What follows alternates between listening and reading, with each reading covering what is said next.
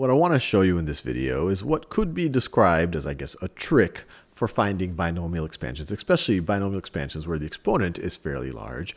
But what I want you to do after this video is think about how this connects to the binomial theorem and how it connects to Pascal's triangle.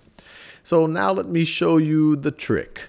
So I'm going to take x plus y to the seventh power. That's going to have eight terms. How do I know that? Well, x plus y to the first power has two terms. It's, it's a binomial. x plus y squared has three terms. x plus y to the third power has four terms. So this is going to have eight terms. So let me just create little buckets for each of the terms. So this is the bucket. These aren't the coefficients. These are just the buckets. First term, second term, third term, fourth term, fifth term, sixth term, seventh term, and eighth term.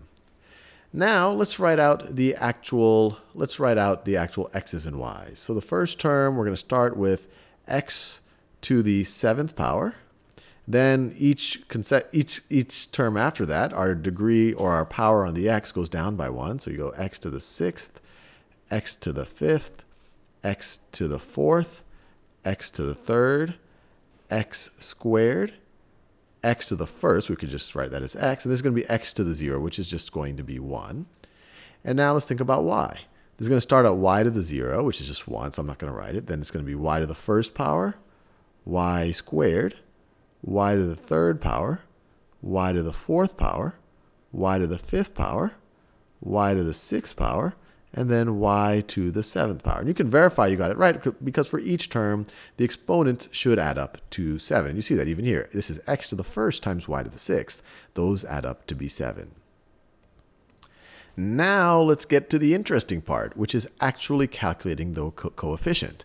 And the algorithm is for each term right over here. So let's just start. We know the coefficient right over here is going to be 1. Actually, let me write that down. The coefficient over here is going to be 1. So for each term, the coefficient right over here, let me, the coefficient, I'm going to try to color code it so we can see it. The coefficient is going to be the exponent of the previous term. So the exponent of the previous term in this case is the 7. The exponent of the previous term times the coefficient of the previous term times the coefficient of the previous term divided by divided by which term that actually was. So divided by the term. So that was the first term. So now the coefficient on the second term is 7 times 1 divided by 7, which is going to be equal to, which is going to be equal to 7, which is going to be equal to 7. Now what about this one? Well, we use the exact same process. The exact same process. It is going to be it is going to be the exponent on the x term. I guess you could say the, the, the, the exponent on x, I guess we could go with.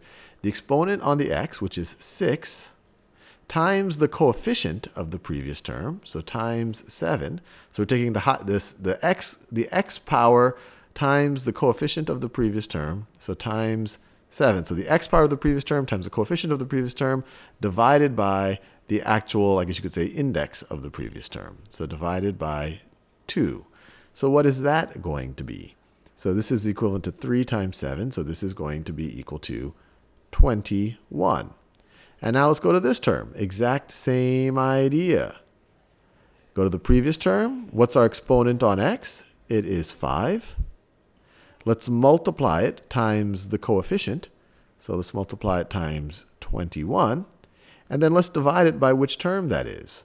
So that was the third term. The third term.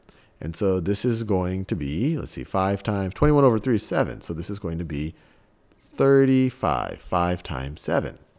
And we can keep going, or we can recognize that there's a symmetry here. If this is 1, then the last term is also going to be 1. If this is 7, this is 7, then the second, if the second term is 7, then the second to last term is 7. If this term is 20, if the third term is 21, then the third term to the last is 21. And then if the fourth term is 35, then the fourth from the last is 35. And just like that, we have figured out the expansion of x plus y, x plus y to the seventh power. Pretty neat in my mind.